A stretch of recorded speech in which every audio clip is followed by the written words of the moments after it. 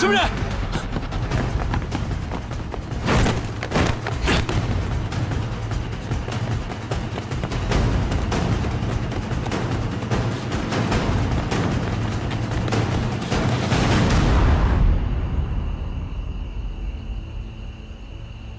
这么久没动静，你说那个人能把朱飘逸引过来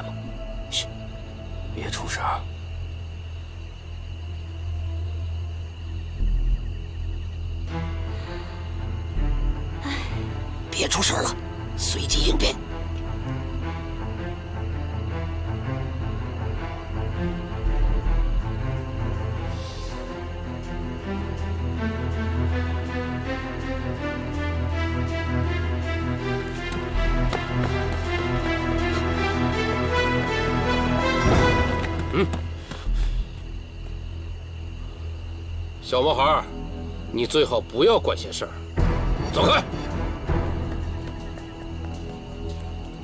尹小天在哪儿？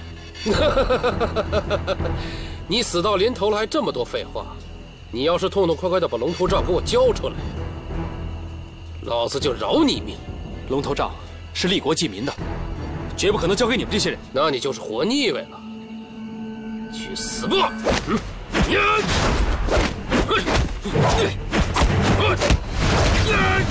姓朱的人呢？你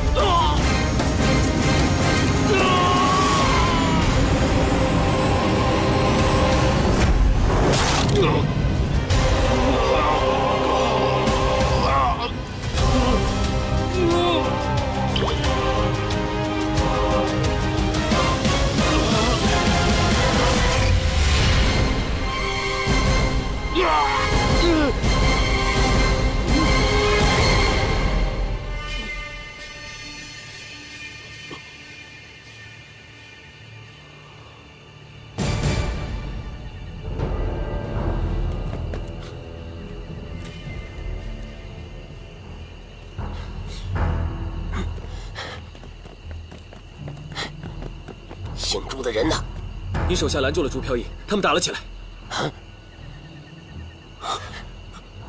贪狼，贪狼想贪功，这样岂不是破坏了我们的计划？走，看看去。这边。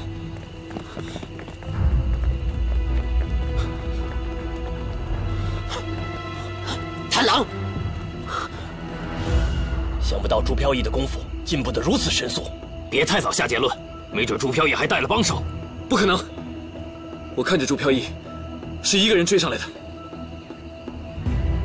没有帮手，是朱飘逸一个人干的。哎，早就跟你们说过呀，万事要小心。贪狼就是轻敌的下场。贪狼的武功大家心里都有数，不仅低劣，还一意孤行，四肢发达，头脑简单，要我看死有余辜。他死了，你好像很开心的样子。不对吗？武功差不说，还不听队长的话。好了，别说了。安宁儿，你先回去，有事我通知你。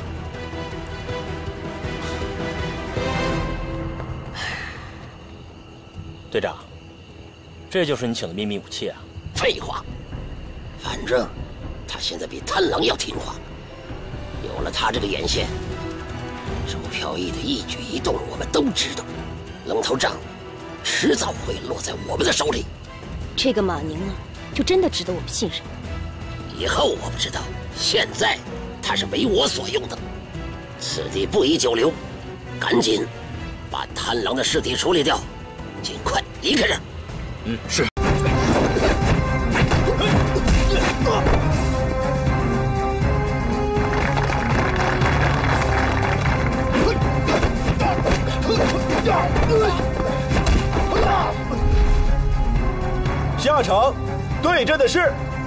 许东和朱飘逸。许师傅，谢谢上次的赐教，请。朱师傅赐教。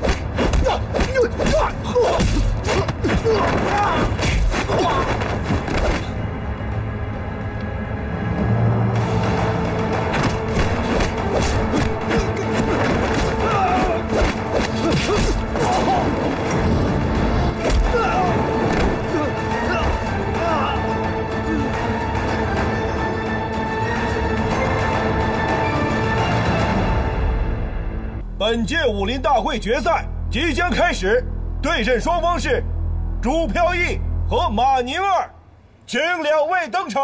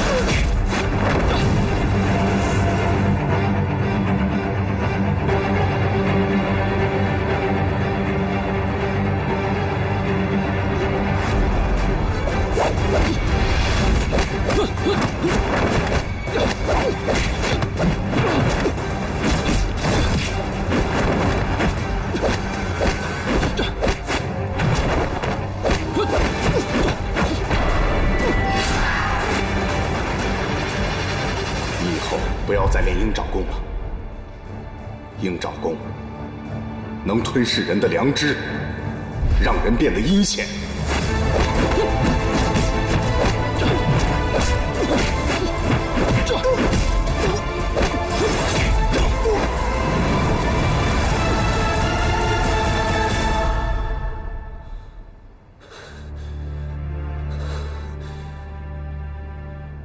本届武林大赛的冠军得主是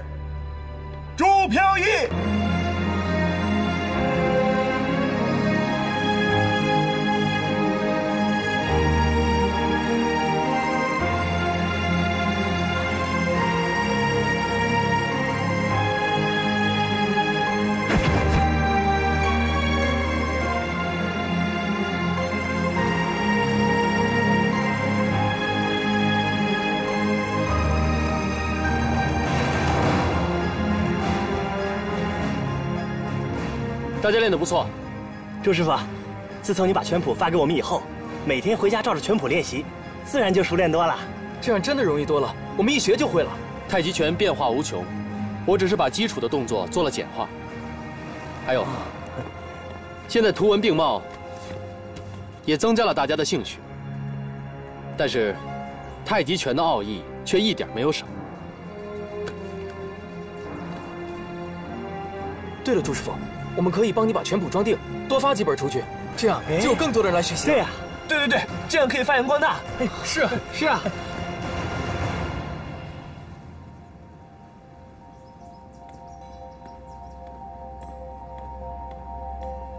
哎，你怎么又来了？我来找那天的家伙。你这个洋鬼子还挺执着。我们朱师傅在里面教着太极拳，没工夫搭理你。怎么？难道你们这群废物还想阻拦我？快点走开吧！废物！站住！别动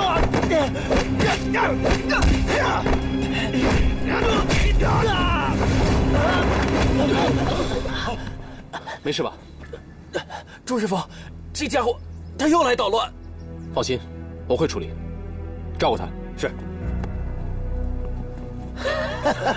你教了一群废物啊！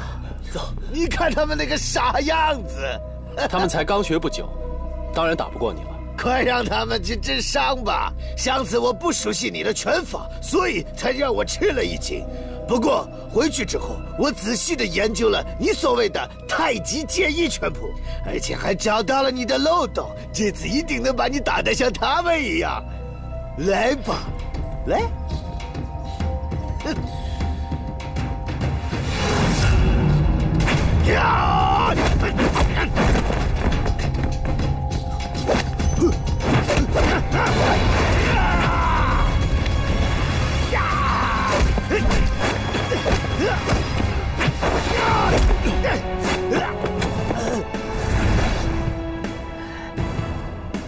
动就是静，静就是动。什么乱七八糟的，我听不懂。啊！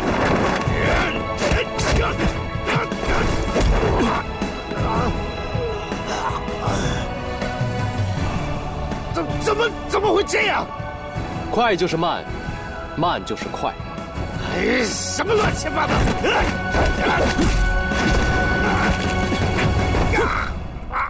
怎么样？现在服了吗？啊啊！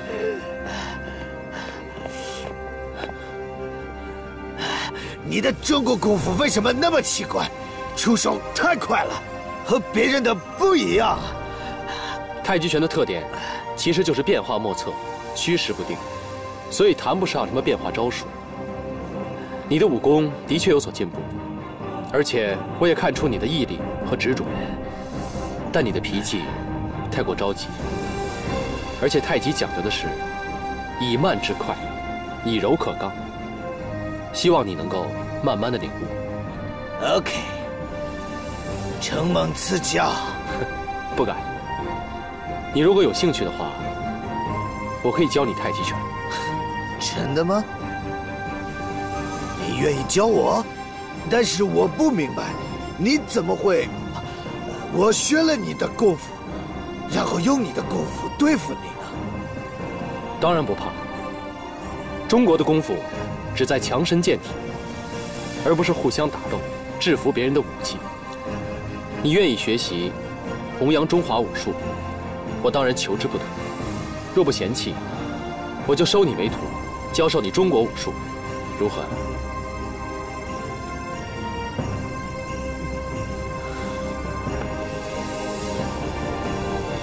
受徒弟一拜。难得你有这份诚心。以后要认真学习，多加练习。遵命，谨遵师傅教诲。谢谢你，谢谢。崔师傅，听你刚才的言语，貌似很有自信嘛。不敢当，只想讨教一二。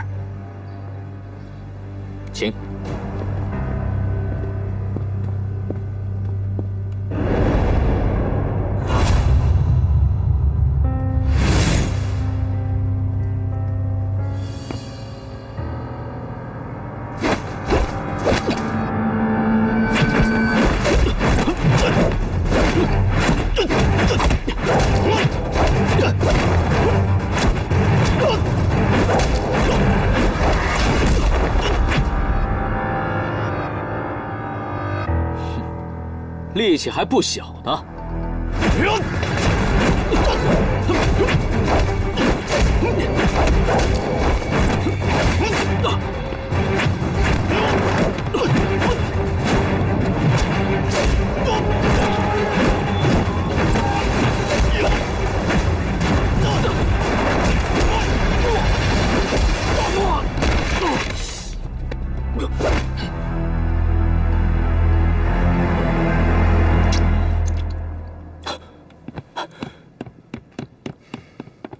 主峰，没事吧？啊，刘馆长，你们武馆不是人才济济吗？我花这么多钱养个武馆，不是要你们丢人现眼的。大帅，请息怒。馆长和这位兄台只不过是礼让罢了，本身就是切磋武功。不过在下对中国功夫倒是很失望，没想到竟然如此的不堪一击。谁说中国功夫不堪一击？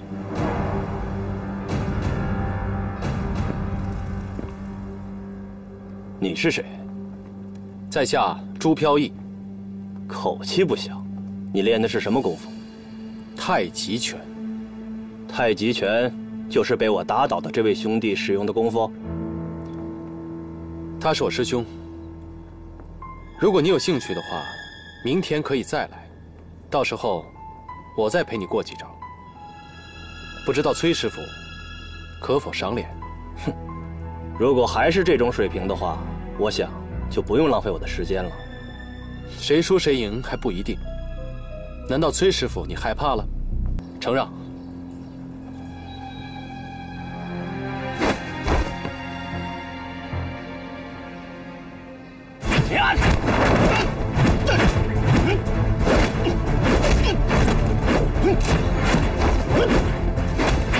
哎，今天飘逸为什么打得这么散乱？飘逸今天不主动出招，而是看着崔正金出招后迅速的做出反击，以不变应万变，这样反而崔正金无从判断，也就无从下手了。原来如此。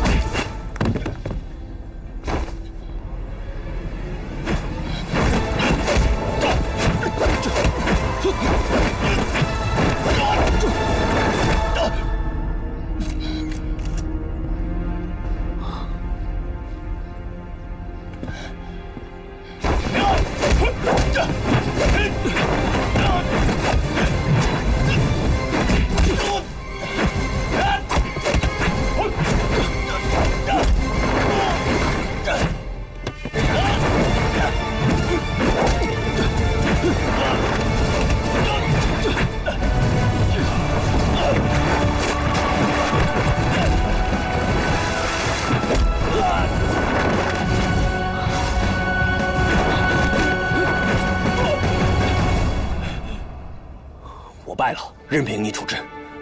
比武切磋，点到为止。你走吧。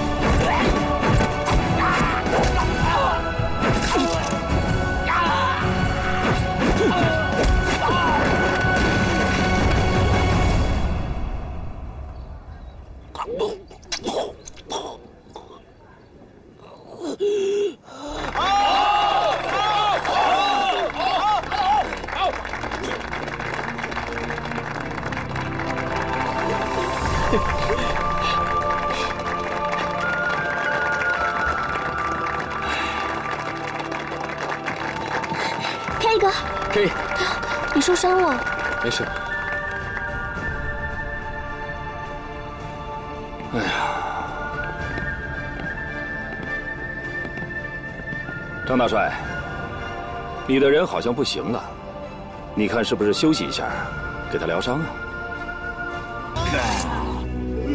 干什么？干什么？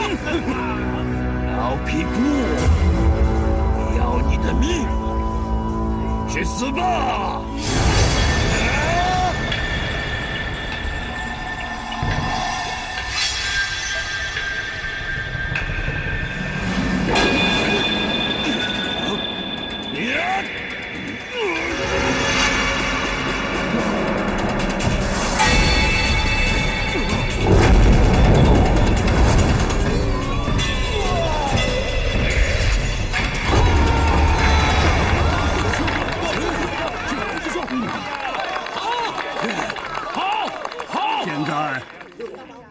可以回去告诉你们的师傅，他没有资格找我比武。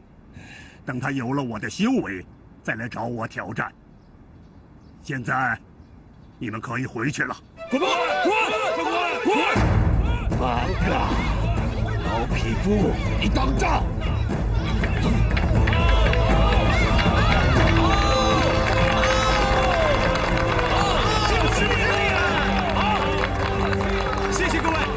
谢谢谢谢谢谢，不谢，走走。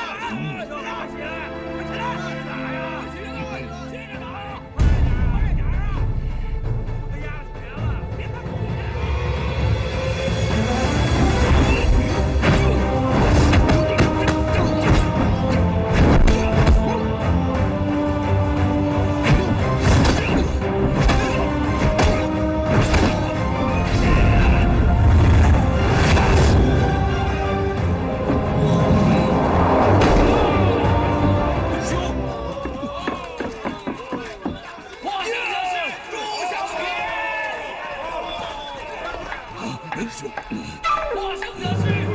么会这样呢？别说了。大家听我说，今天我们的比武首方是来自横天道场的小泽先生。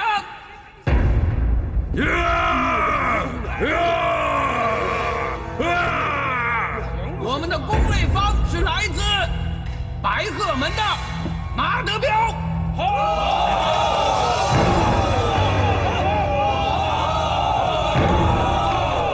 今天我们比武的获胜者将会获得二十块大洋。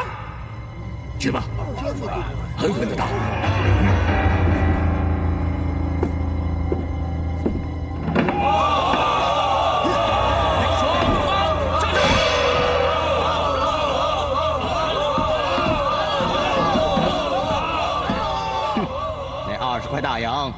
是我的。那你要先把命留下来。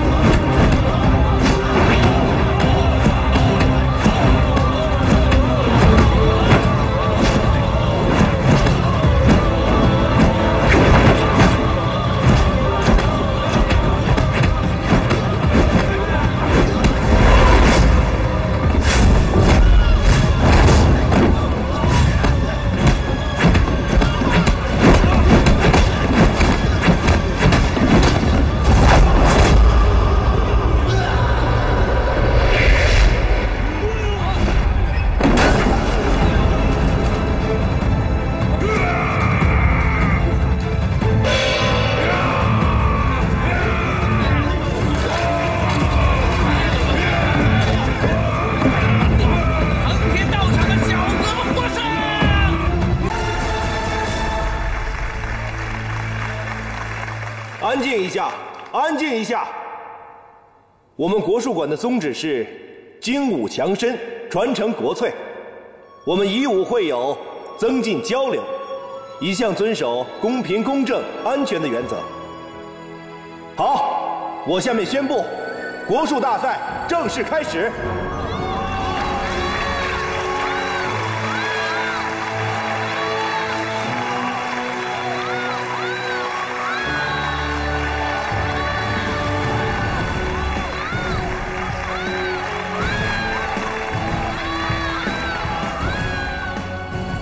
请第一列出队的二位选手。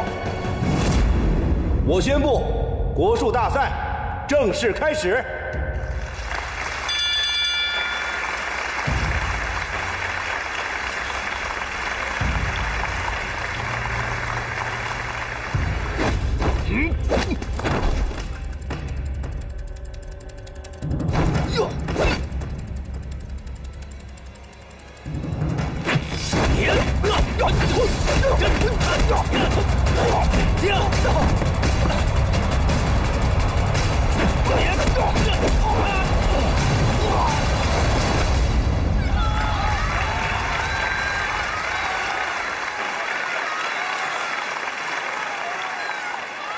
下一组出场的是陈如风，对战的是金刚。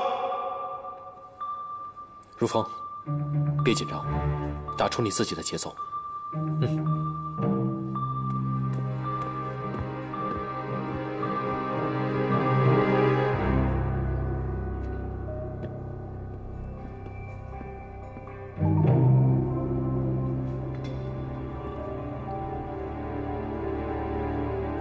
比赛。开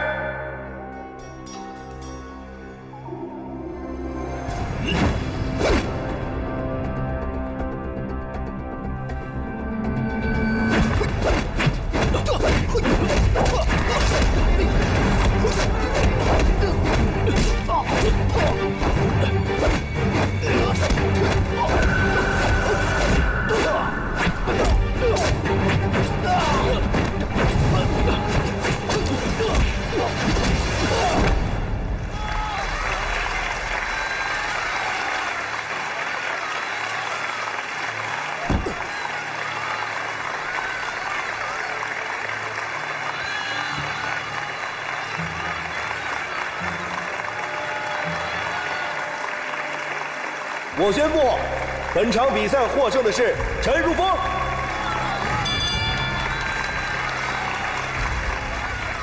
打得好，最后那一招太帅气了。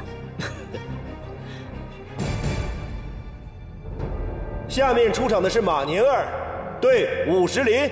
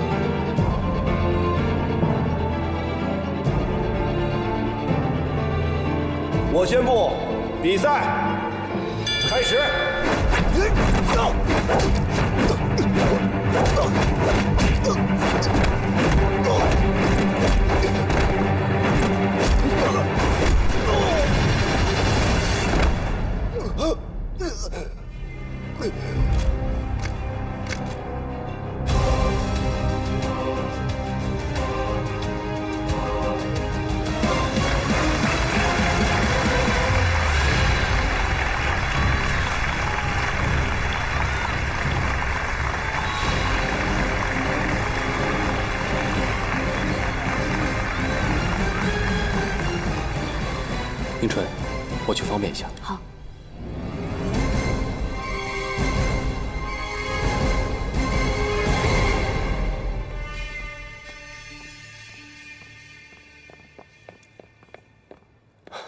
宁儿，宁儿，我希望你再考虑一下，不要再来纠缠我。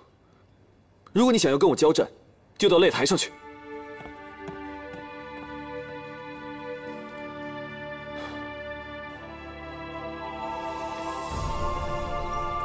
总体来说，这场比赛打得很好，只是我发现你有两处失误。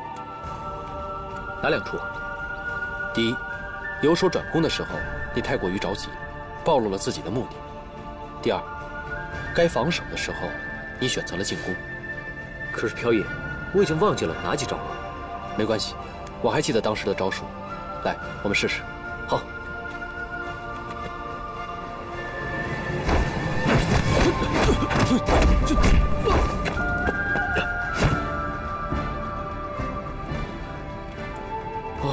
知道了。现在你攻我守。好。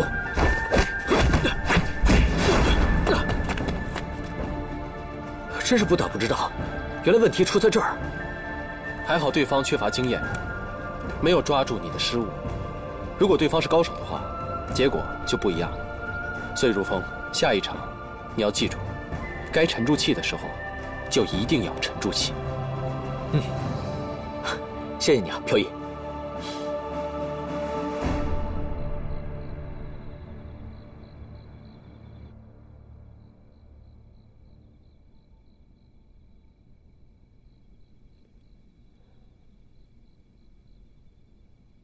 内，在众多参赛者中，你觉得谁最有可能打入决赛？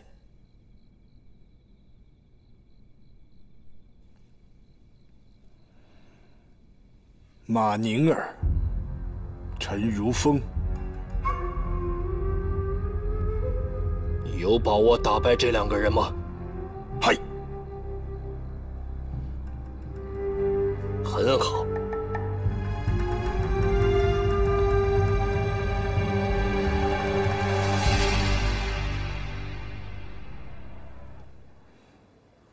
比赛开始。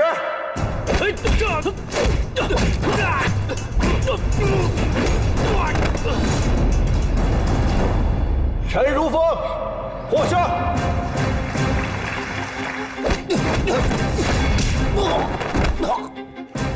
我宣布，马宁儿获胜。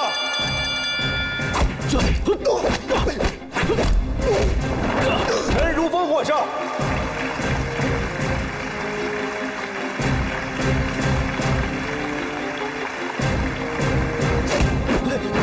这这一局，马尼尔获胜。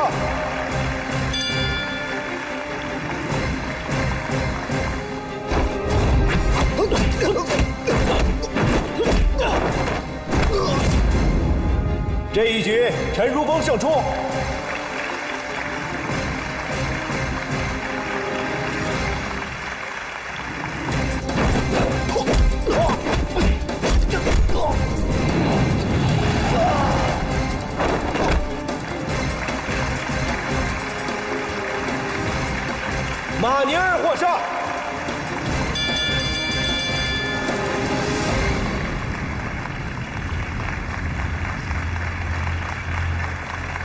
马上就到了我们国术大赛重中之重的总决赛，下面有请陈如风、马宁儿，请双方上场。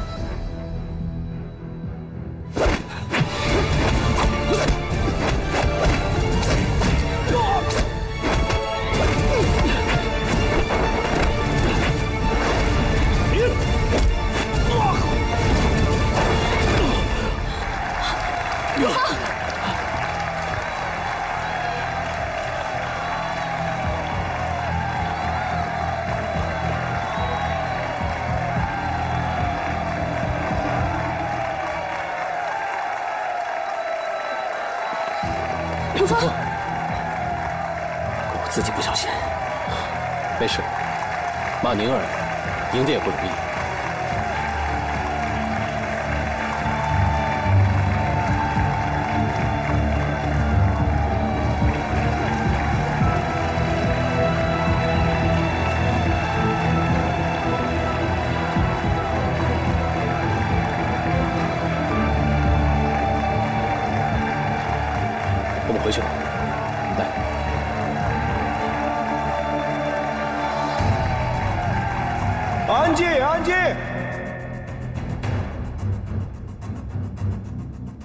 我宣布，国术大赛的第一名是马宁儿。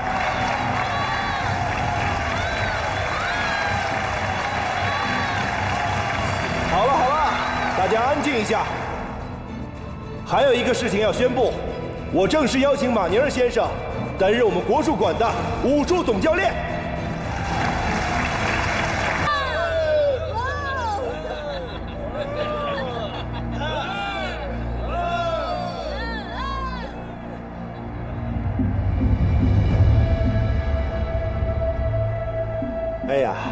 刘会长啊，您跟朱飘逸不是一起的吗？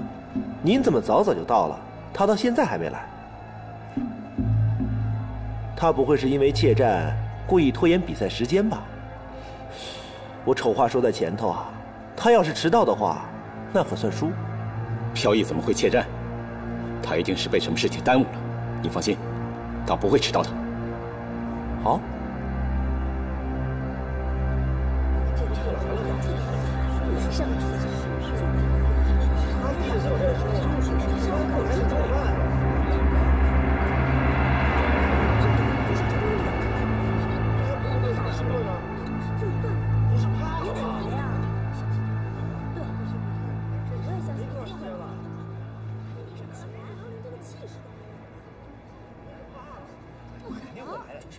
安静一下，安静一下。我说个事儿啊。本场比赛是由朱飘逸先生主动发挑战给日本河内京先生的。可是他本人现在还没到。咱们凡事得讲个规矩，讲规矩就得按规矩办。离比赛开始还不到一分钟。如果他迟到，将会算输。我现在开始倒计时，十、九、八、七、六、五、四、三。等等，我来了。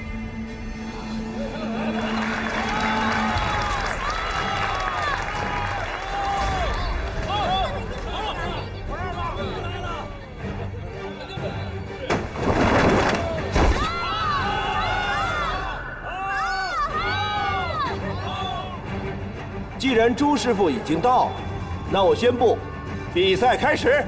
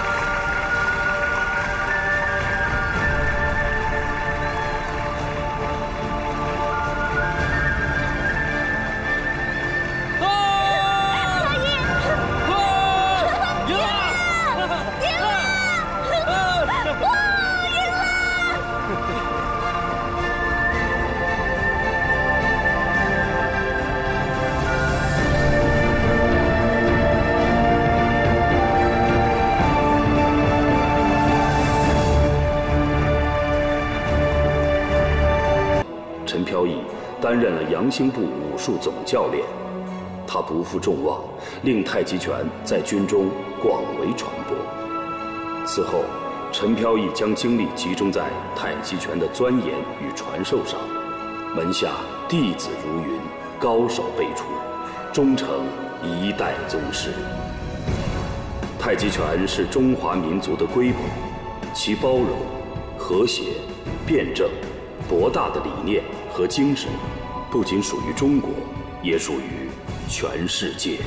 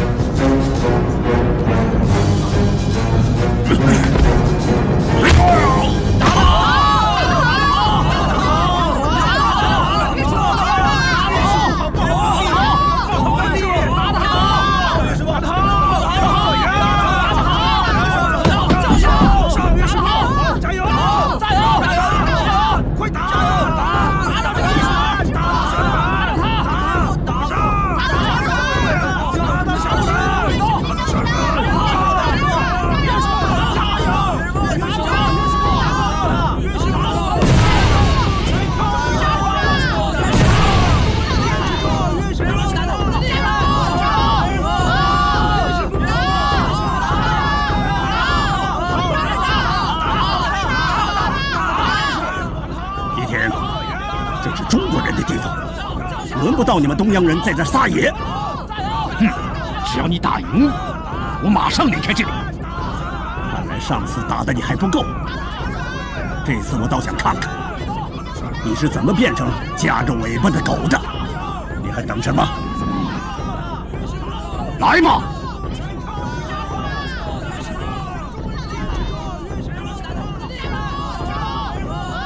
啊。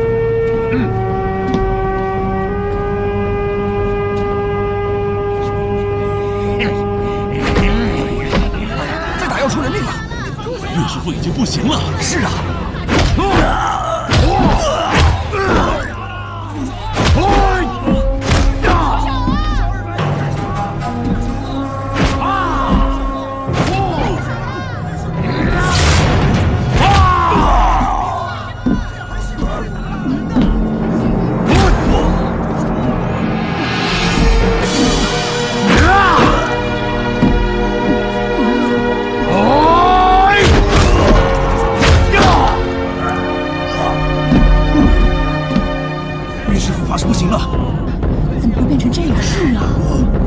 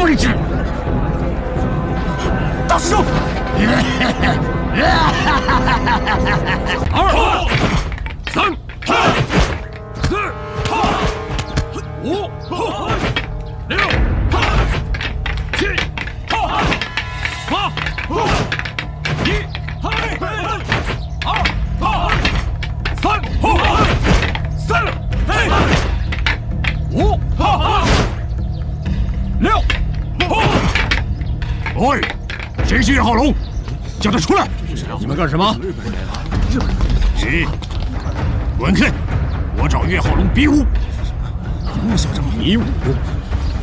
你没资格跟我师傅比武，连最起码比武的规矩都不懂。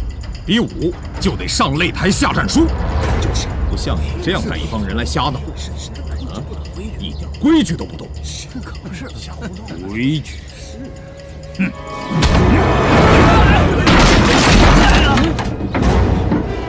说我们是野蛮人，你们中国人是什么？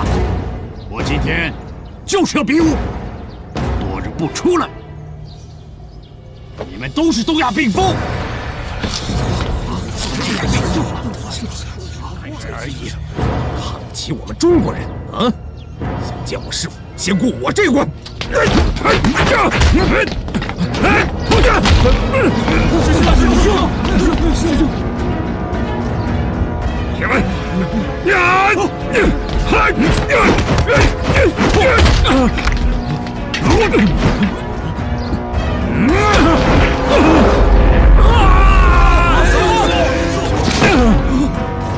兄，师兄，你放开，师兄，岳浩龙。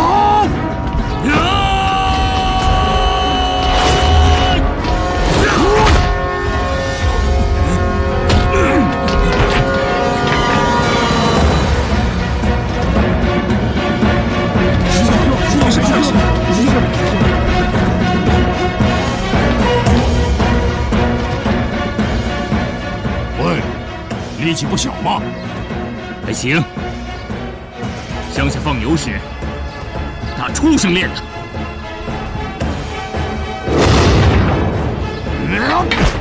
嗯，动手！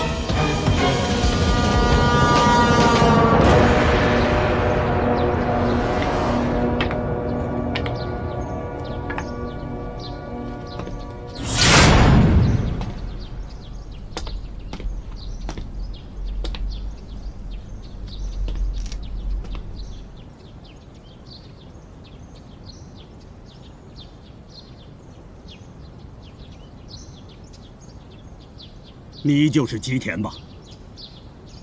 我是吉田，岳师傅。我的武馆和你的吉田道场本身就是井水不犯河水，你今天为何到我这里故意生事？你真以为我们中国没有人了吗？任你如此猖狂！我是来比武的。我虽是一介武夫，但我懂得礼数，我不和蛮子交手。你怕了？堂堂的岳浩龙也会怕？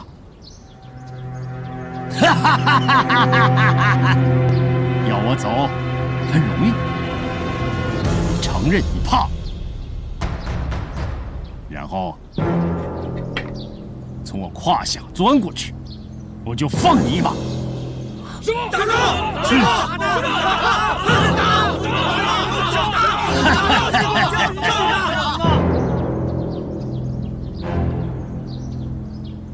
一个小小的弹丸之国，从我们这里学到了点皮毛，就如此张狂。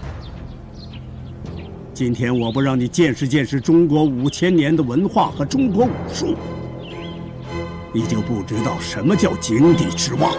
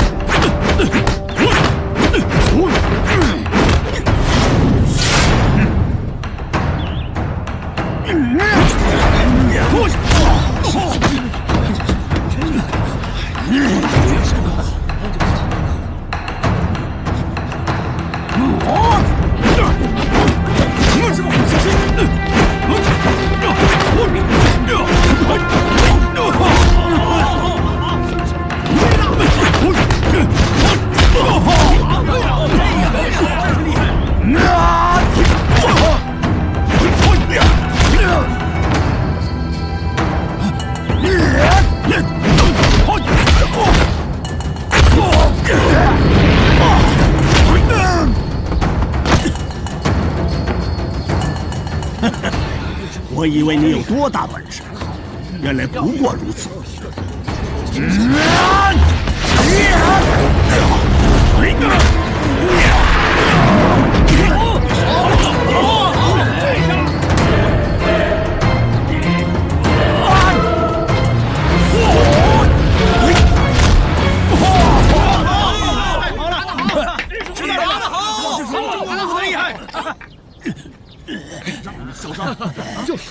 看到厉害的吧？回去吧，啊！我回去，我输了，杀了我吧！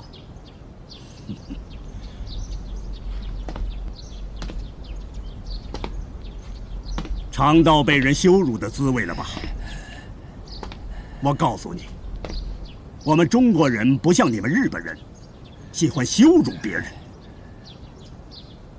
今天你就是要从我的胯下爬过去，我也不会让你跑。滚出去！滚！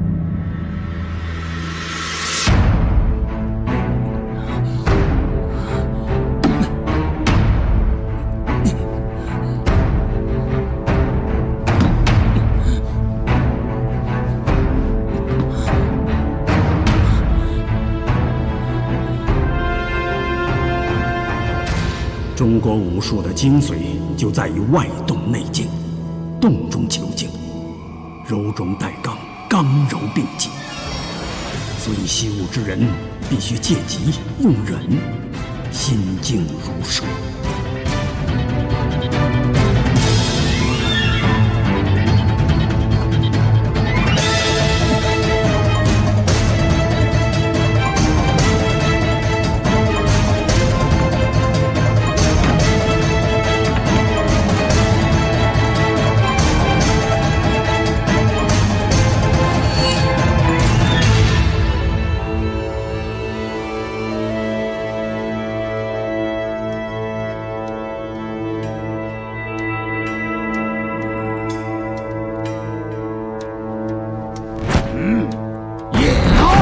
快走！